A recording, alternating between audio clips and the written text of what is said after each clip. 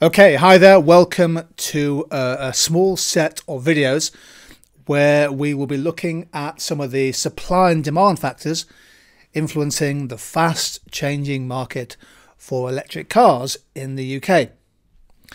The changing pattern of new passenger car registration is shown in this chart. Uh, this data chart uh, illustrates how the pattern of demand has changed since 2016 and uh, we can expect the share from electric cars, which is just 3%, if you go back five years ago, can expect that share to, to rise strongly in the next few years. Notice also the significant decrease in the share of diesel cars uh, in new passenger car registrations. That's now down to 26%. Car sales overall in the UK were down uh, this year in the year to the end of September 2020. Of course, that was mainly due to the pandemic and uh, a fall in real incomes and uh, job insecurity and a drop in consumer confidence. But actually, electric vehicle sales were up in contrast to the steep decline in, in new petrol and diesel products. Shown by this chart here, petrol car sales down by 21% in the year to September 2020, diesel down nearly 40%, hybrids up uh, 55%, plug-ins up 140%, and battery electric vehicles up by nearly 200%, despite the fact the car market as a whole was down by just over 4% in the year to September 2020. Uh, this that said, we can we can see here this chart the impact of lockdown induced by the coronavirus pandemic and the steep descent of the UK economy into recession during the second quarter of 2020. So this very sharp rise in electric vehicle sales uh, has been halted for the moment uh, in the second quarter of 2020. Well, let's wait to see what happens uh, throughout the rest of the year and into 2021. This table just gives us a quick overview of the top 10 passenger electric vehicle models in operation in the UK uh, last year in 2019. Uh, the Mitsubishi Outlander was ahead of the game. Nissan Leaf produced here in the UK and Washington, Tyne and Wear 33,000. Uh, Tesla, of course, who garner a lot of the publicity surrounding electric vehicles, well, their their sales were relatively low. Actually, they only appear eighth and ninth in the terms of the top 10 um, vehicle models. One of the aspects of uh, demand in the market is the fact that uh, battery uh, electric cars require vehicle charging stations. Most people don't have the ability, the wherewithal to charge their vehicles at home, particularly if they have off-road parking. This chart's quite interesting. The the number of uh, electric vehicle charging stations is clearly rising. The network is increasing as supply expands to meet demand. The Society of Motor Manufacturers and Traders have calculated that something like 20 billion pounds needs to be spent to have enough charging stations for for all new cars to become electric. That would be an enormous increase in infrastructure investment in the charging network. Effectively, that's the equivalent of adding, I don't know, 500 chargers per day between now and 2035. So if we're going to move full scale to electric vehicles, there's going to have to be an enormous investment in electric vehicle charging stations.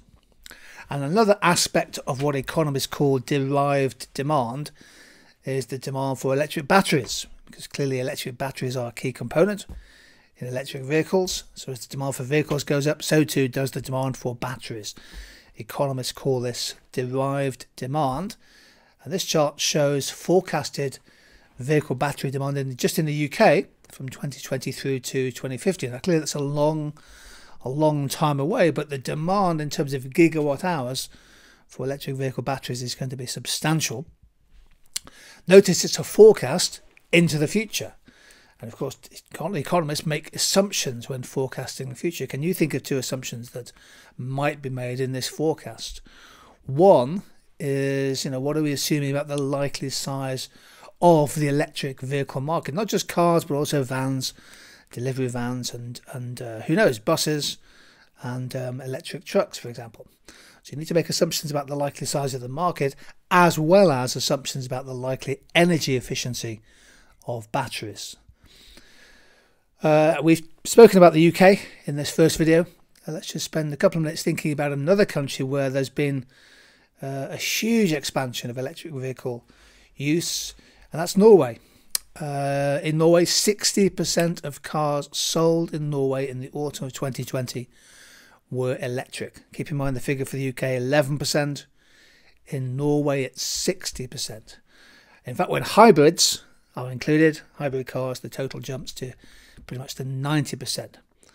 And Norway has a goal for all new cars, all new cars in the country sold after 2025 to be electric. That's a decade or more ahead of, of the goal, the ambition of, of other countries. I think what's interesting when you think about Norway is the extent to which demand is being influenced by government financial incentives. The Norwegian government has brought in a whole range of incentives. From if you've got an electric car, you're exempt from tolls. Uh, you're exempt from 25% VAT on the purchase price. You don't pay road tax. You get special access to bus lanes, and obviously, given the nature of Norway, you get a maximum 50% of the total amount on ferry fares for electric vehicles. So, Nor- the Norwegian government has brought in significant incentives, and this chart, I think, uh, uh, shows that the scale of the increase of the the market share, particularly post kind of post 2016, that share has been rising very strongly in the last two or three years. Keep in mind, of course, uh, that Norway has one of the highest per capita incomes in the world. It is a rich, advanced country. Uh, so, with incomes higher, more people and more households have the annual income to be able to afford new electric cars. There is a strong, effective demand for electric cars, whereas for many people in the UK, it's a it's a uh, something they would like to have in the future. I'm certainly included in that, but at the moment, the issue of affordability is a factor holding back demand. So there we go. Uh, we just started by looking at the market as a whole. In the second video, we'll focus on demand, demand for electric vehicles. And in the third video, we will focus on supply before we bring the two together with a little exercise on supply and demand theory.